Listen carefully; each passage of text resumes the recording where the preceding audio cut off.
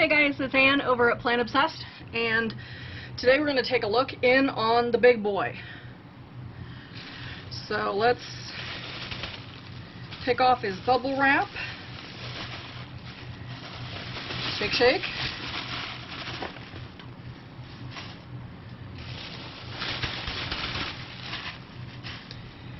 And you can tell how much it's sunk over here.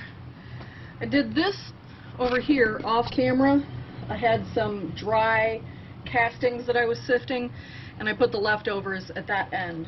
So that's what that extra bedding is doing down there. So for right now, let's just take a look and see what is going on here. It's been about a week since we've taken a look at him. Everything on top, except for the dang springtails, looking pretty good. Um, kind of just peel back the layers here and see what we find. Looks like they're doing a really good job of processing all of the bedding. Of course, there's a, a mango pit they're still in progress with. Said I was going to put that over there, didn't I? Right, kind of put that focus back down here.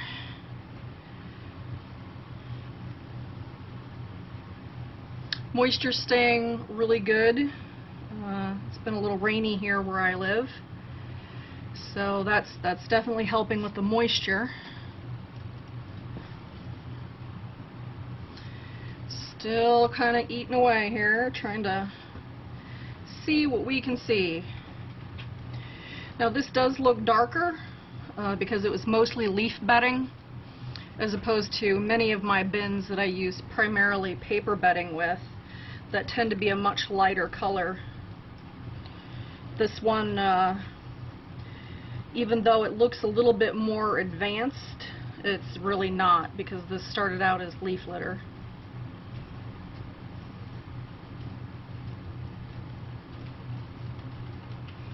You can kind of see the size of the worms. Oops. That already has the clitellum, so we know that's a mature worm and yet look how small he is. Pretty much thought things would start getting bigger once I put them in the, the 55 gallon bin here.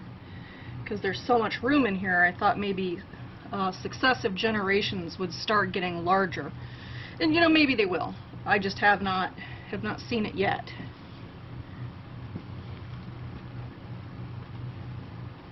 Uh, avocado see. Got to be getting close to the food.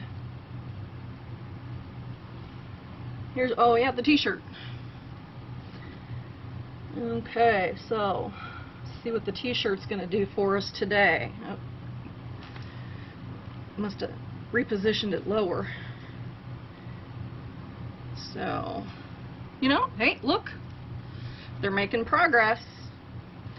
No, oh wait, I was just about ready to say no super cool worm ball, but then I don't really have the right part of it flipped up. And I think we fed some stinky onions, so I was kind of expecting, um, so not a really big worm ball, but the onions, this is a potato. You can kind of still smell the, the onions a little bit, but there's not anything along you know, anything really left. I'll keep digging around though. That'll break our heart, won't it? oh geez, have to dig around in the bin a little bit more. Yeah, I'm actually kind of surprised I'm not finding any of the... Oh, good. One little piece or one onion left so far. We'll just keep digging away here. It's a little compacted,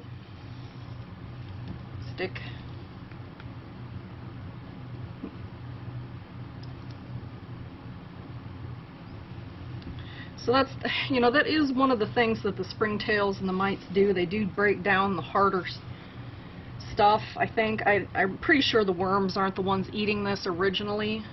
Um, it's got to be the bacteria or the mites or the other fauna in the bin that are doing that.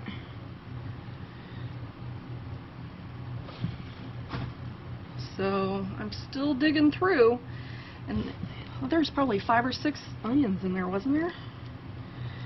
I'll have to go back up and look.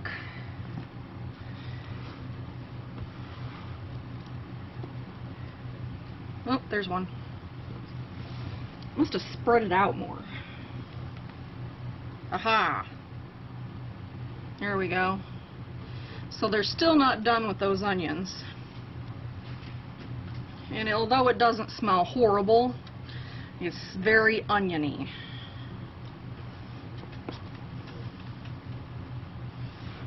Sticker.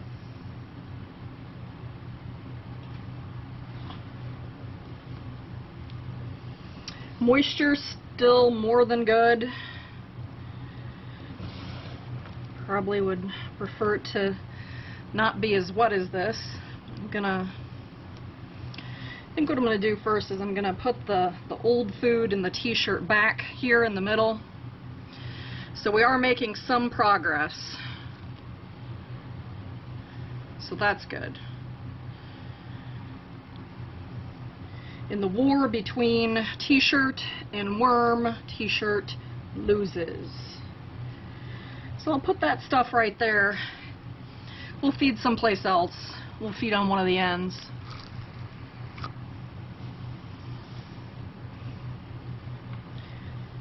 Just pushing this stuff over just to make sure that we keep everything aerated. Considering the level of moisture in here, I do not want to have this get or go anaerobic on me. It is a little deeper than many of the other bins that I run, so I do err on the side of caution when it comes to fluffing. More fluffing is better.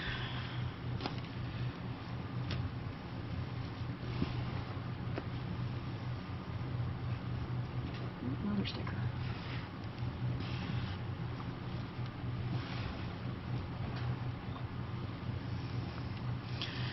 So yeah, that end is a little drier. We've already been through the middle here. Now let's let's look at the other side. So look at these sticks and move them over. Mango pits. Tuck them in with the onion. And then we'll take a look and see at this end where I had the castings that were unfinished, or not castings, the the food leftovers. You can kind of see they're kind of pebbly looking. So when I do the the sifting, whatever goes on top of the sifter generally goes back in the bin. And since it had been dried out quite a bit um, in the process of me making it ready, uh, I put some nice wet bedding on top of it in hopes of, you know, having it, if there was any cocoons in there or, or whatever, that they would have enough moisture to hatch and go on their merry way. So I'm going to incorporate the paper bedding and the the leftovers. Still harvesting from when I tore everything apart during the worm apocalypse. Um, had a rat in the basement. Had to use a uh, trail cam to catch it um, visually. And then once I knew what it was, to get the appropriate size trap. So that that rat is no more.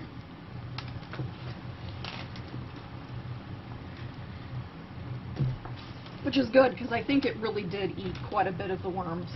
Um, I don't really want to hurt any living creature. I hate you know, I'm not, I don't know, against hunting or anything like that, but, you know, it's just trying to make a living, but I can't have it eating all my worms. So, alright, we've got the whole thing fluffed up now. Really wish I would remember to take off these tags. But uh, it's neither here nor there. So we're going to feed down here a little bit today.